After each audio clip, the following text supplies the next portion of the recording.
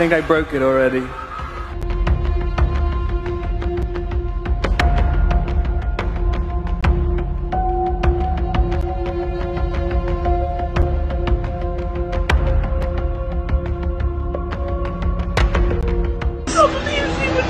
She's a cheating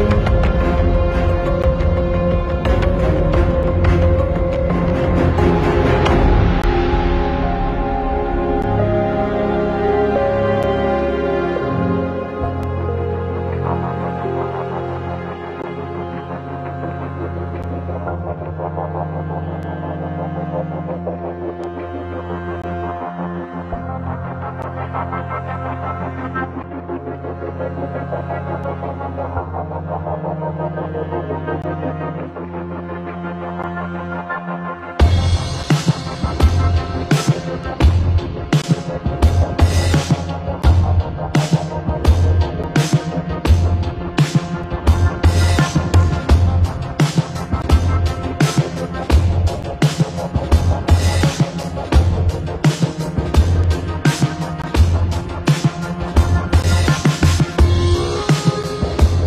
They were kissing like teenagers. His wife, Liberty Ross, She actually played Kristen's mom in Snow White and the Huntsman.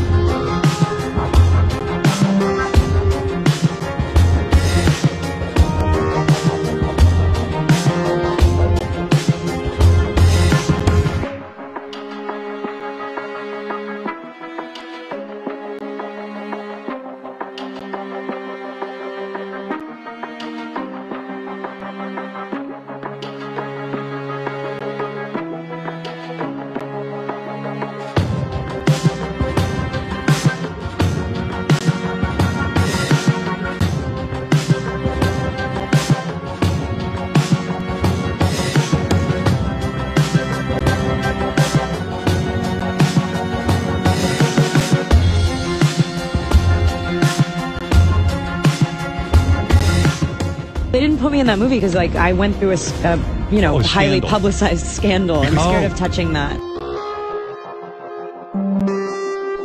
There's no way a relationship could survive the types of scrutiny that you guys had.